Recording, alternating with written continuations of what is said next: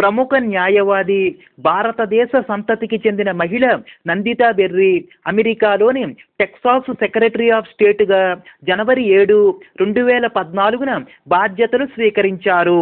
ఈమె ఈ పదవిలో రాష్ట్ర ప్రధాన ఎన్నికల అధికారిగా వ్యవహరిస్తారు అంతేకాకుండా సరిహద్దు వ్యవహారాల అధికారిగా కూడా విధులు నిర్వర్తిస్తారు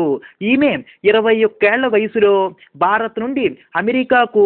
న్యాయ విద్యను అభ్యసించేందుకు వెళ్ళారు తరువాత టెక్సాస్లో ప్రముఖ న్యాయవాదులలో ఒకరిగా ఎదిగి చివరి వరకు టెక్సాస్ సెక్రటరీ ఆఫ్ స్టేట్గా నియమితులయ్యారు ఈమె బెంగళూరులో మౌంట్ కార్మెల్ కళాశాలలో